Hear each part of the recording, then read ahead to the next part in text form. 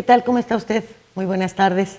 Bueno, pues ya es, ya es viernes, ya estamos a punto de irnos a disfrutar de un buen fin de semana y déjeme decirle que de parte de su servidora pues ya se acercan los días en los que pues tomaremos algún descanso de fin de año. Pero bueno, todavía, todavía me faltan algunas horas. Y, y, bueno, pues ya ve usted que es como todo, cuando ya se acerca el periodo vacacional, hasta los días parecen más largos. Pero fíjese que hoy nos enteramos por un medio de prensa local que el caso de jueces y magistrados en Quintana Roo no tiene las dimensiones de lo que se trata en otras entidades de la República, en donde realmente ganan salarios mucho, muy altos.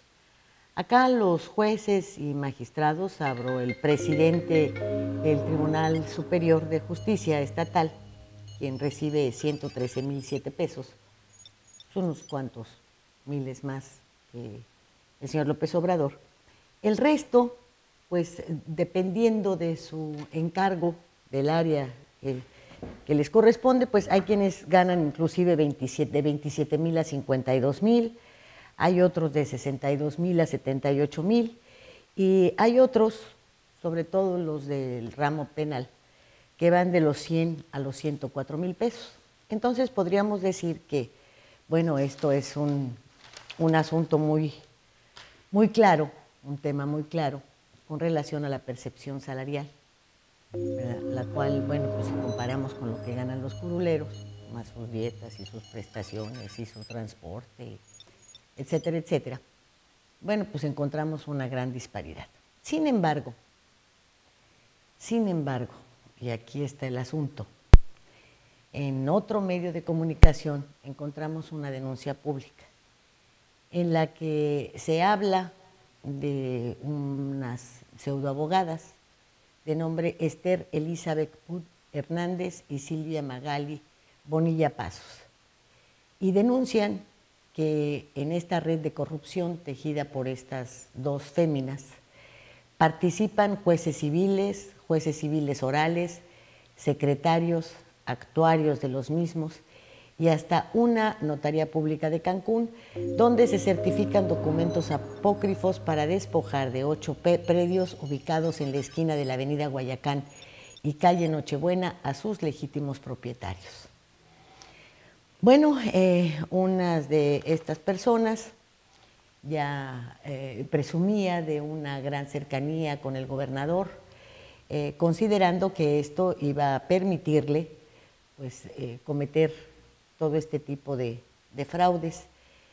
Esto, esto pertenece al ejido Bonfil, en donde, bueno, pues salieron pseudopropietarios a quienes los juzgados les otorgaron ser los legítimos dueños de predios con los que se presume quieren hacer estos despojos. Eh, en ello, pues le decía yo, tienen inclusive a una juez civil de aquí de la ciudad de Cancún, de nombre María del Pilar Gio Escalante, quien dicen que pues, se ha prestado a, dar algunas eh, determinaciones que han permitido que tanto doña Esther como doña Silvia puedan cumplir su objetivo de, de despojo y que vendan inclusive estos terrenos. Entonces, pues mire usted qué bueno que los jueces, los magistrados, etcétera, pues eh, tienen un salario que va de acuerdo con sus funciones. Qué malo que se descubra paso a paso redes de corrupción y de enriquecimiento que son verdaderamente inadmisibles, que lo fueron antes, que lo son ahora y que por desgracia no vemos en su actuación ningún elemento que pudiera indicarnos que las cosas van a cambiar. Ahí eh, puedo ejemplificarle en algunos casos en donde tienen las sentencias en favor de quienes iniciaron un largo proceso de años denunciando eventos y afectaciones, etcétera, eh, considerados obviamente como delitos, y que no ejecutan las sentencias. No las ejecutan, las tienen ahí guardadas en beneficio de, los sinvergüenzas. Y mire que los hay no solamente en los despojos de terrenos, los hay también en el área médica. Eh, eh, los hay también en algunas eh, situaciones en las cuales se pelean herencias y, basta y sobra con que estuviesen involucrados en, en el jaloneo como terceras personas o como interesados en ayudar a supuestos herederos legítimos, pues familiares, por ejemplo, de Fidel Villanueva, allá en Playa del Carmen.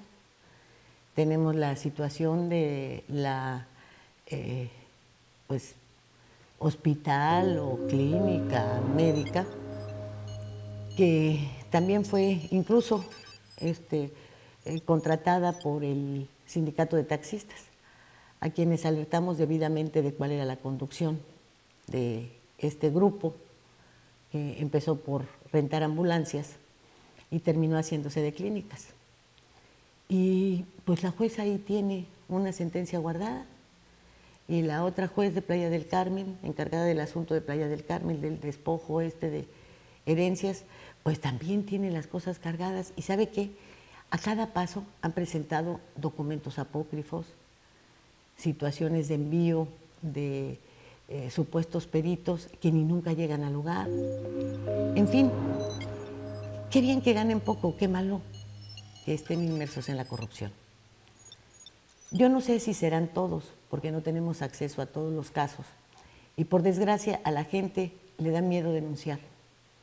Yo no sé cuántos puedan estar por fuera de este ajo. Pero lo que sí hemos visto es que la mayoría vive y vive muy bien más allá del nivel de vida que pueden tener con las percepciones salariales recibidas, con todo y prestaciones y lo que usted quiera. Y habría que checar cuántos familiares tienen dentro, a cuántos han protegido, cuántos cobran sin estar allá. Porque pues me parece que el presupuesto que le tienen asignado al Poder Judicial es menester estirarlo, pero hacerlo productivo también y, bueno, que se alejen ya de todas estas situaciones que los ubican en un nivel de corrupción exactamente igual que el del Lord Ministro, por ejemplo. ¿Cómo es que estos jueces tienen ranchos, mansiones, vehículos de lujo? Si sus salarios son de 100 mil pesitos. Esa pregunta, pues ni se pregunta, ¿no? Con todos los riesgos tiene que hacerse, ¿eh? porque de otra manera, pues si así no sabemos, nos quedaremos así para siempre. ¿Y eso es lo que usted quiere? Yo no. Gracias, buen fin de semana, hasta el próximo lunes.